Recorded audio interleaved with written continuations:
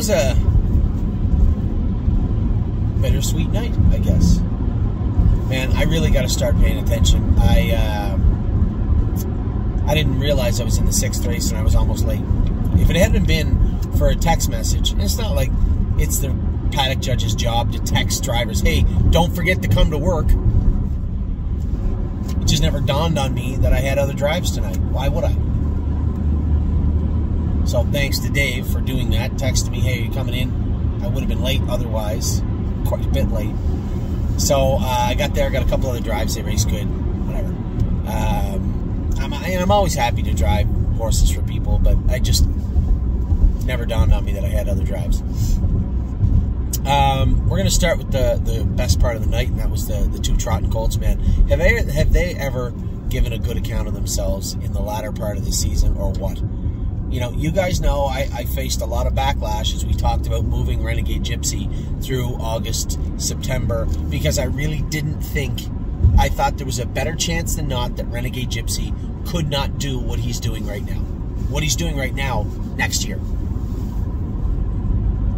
Resolute Bay, I told everybody he's still immature, he's still growing, he's going to be a nice horse. It's going to take time. Renegade Gypsy, come on like gangbusters in the fall. He has been amazing for the past what three months. Sure, he, you know he had some flashes, and the race in Ottawa was good. He had some good races, but he wasn't like he is now. The horse is just awesome right now. Very, very good right now. Mario has him good. Everybody in that barn has has the horse good, and the horse has been racing great. Resolute Bay again you know, we saw with the break last week. It was a little unorthodox. He was on the left line a little bit. You know, it, it, very serious question last week. Is it time to turn him out? James said no. Horse is sharp as a tack here. He said, we'll take him to the vet, get the work done on him. Perfect. Away you go. They went to the vet, got the vet work done, and Resolute Bay come from the clouds. Um, I thought he was a winner. I watched the race. I'm sure you did too. I watched the race, and I, I just assumed when I saw the live view, he's a winner. And then I hear them call as I'm I walk to, towards the locker to get changed because I was in the next race.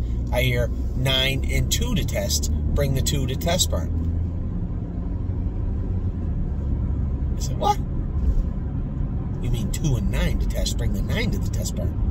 I was sure he won. So I, went back again. I watched the slow mo. It wasn't until you saw the head on. He said just at the last second, he just picked him. Man, he raced great. And Renegade Gypsy uh, raced fantastic also. I mean, come a long way, both those colts.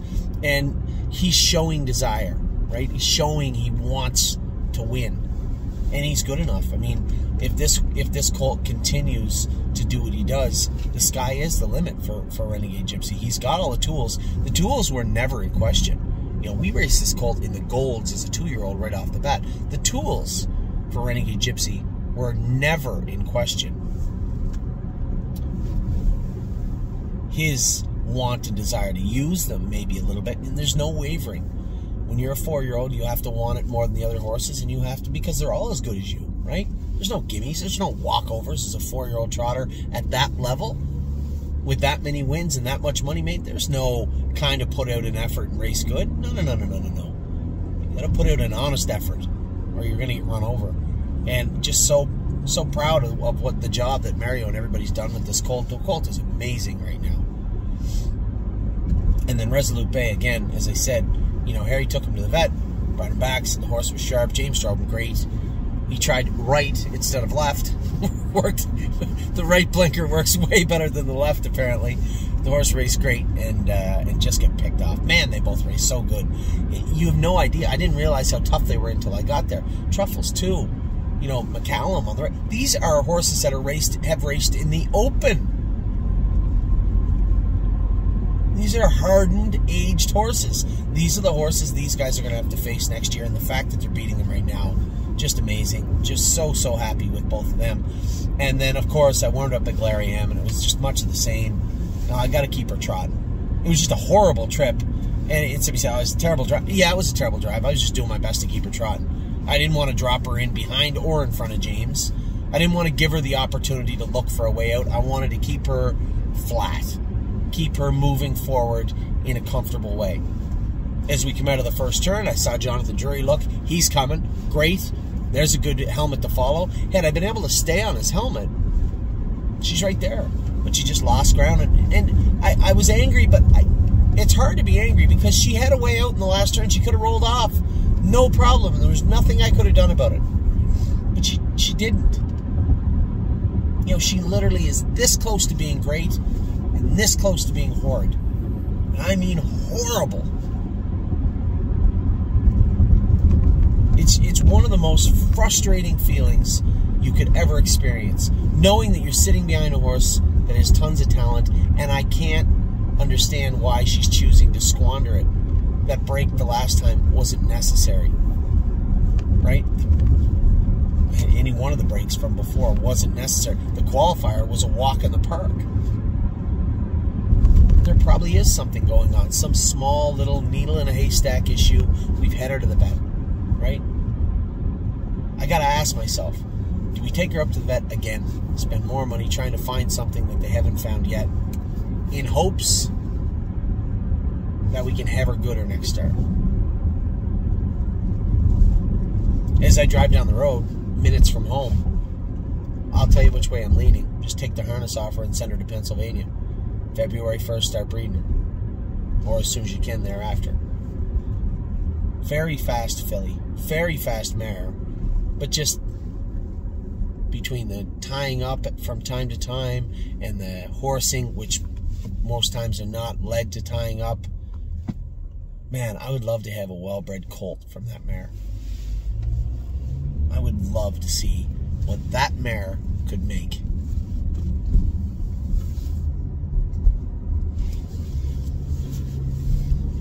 And that's kind of what I want to do. I know there's going to be people say, can we try another trainer? Can we have her do a different vet? Can you take her to a different venue? Can we send her to Brett and Stacy? Can we send her to Megan? Can we send her anywhere? You guys know the answer to that. She's been plenty of places. Very close to being good, very close to being bad. So, um, I'm not going to say that I, I've written this chapter. I've closed the book. I'm not going to say that. I did say it to Dominic, I'm not racing her again. I did say it to James, I'm not racing her again. But I guess that would be unfair. I'm going to think about it. I'm going to sleep on it. And we'll see what we come up with uh, in regards to a Glare AM. But one thing is for certain, I, I, would love to see what, what that what that mare can make. What kind of foal that mare can make. To the right sire. Man, anyway, uh, just a, a, tremendously great night from the Colts, and, and I'm not going to say a disappointing night from the mare. She trotted, but she's not right. She's not good, and that's that. Uh, tomorrow, I'm going to wake up. We get some horses to train at the farm. We get some babies to go with. I'm going to put the hobbles on J-Port Beach Boy. End time is on my side. I'm going to put the hobbles for the first time on both of those colts. And uh, tomorrow afternoon, I'm going to go over to Northfield Park. We get four horses in tomorrow night. I am not going to attempt to name all four because we know there's a very good chance I can't. So I'm not even going to name one. You know who they are. One of them's yes. You like that? That was one I forgot last week. Um, so we have four in tomorrow night. I opted not to, not to go to the Meadows on Wednesday. It was just going to be too much. I think Wednesday I need to be there. We're getting close to the time where I still haven't got a, a, response from Northfield Park from MGM about having an open house over there. I know we can have one here. I just got to work it out with Joe. Of course, we're going to have one. It's some some kind of open house for everybody. But to do that, we have to have them gated. We have to have them going in the right direction. Now, I'm very very pleased with what I've seen um, from the work of of uh, Jason Merriman and everybody in that barn in Ohio. Just a tremendous job. And then here, obviously, we got James started back first day on staff today. So James, Danny, Johnny are going to be going with a lot of the babies here. Now tomorrow, I am going to be going with. Time is on my side, and uh, J-Port, J-Port. Uh, what's wrong with me? Beach Boy, J-Port Beach Boy, uh, tomorrow. And the ones that I've been going with the last little while, I'm going to continue to go with them tomorrow and see how they are trotting on and pacing. Also, uh, very happy with what I've seen. The only hiccups to are we still have two babies to come in. We still have to break a Huntsville, and we still have to break and always be Mickey. Uh, one coming from Pennsylvania, one coming from Ontario. They'll both be in the Ontario barn this week. We are now starting to get a, a good idea of where the horses will be, where they're going. Um, what country they'll be in, what barn they'll be in, and who they'll be under. So I spent all afternoon doing that with uh, doing that with Amy this afternoon. So uh, very exciting start to the year with the babies. Um, we see the still some of the remnants of summer with our Colts racing great tonight. It's a little deflated with Eglariam and then the injury to, to Globetrotting. But again, those mares are, are very, very close to starting the next phase of their life for the stable.ca. Also, we've got some new horses coming on. Looks like uh, Money will school next week uh, on Friday. Uh, he'll school next week. We just got a ton going on. Still in transition, but uh, I didn't bring you guys to stables today for a reason. We still have a ton of horses moving around, but by next Saturday, I should have a pretty good idea where everybody is at. So with that, I'll let you go. I'll probably bring you a video at some point tomorrow talking about what went on in the day, what went on in the night. But till then, take care. Have a great day.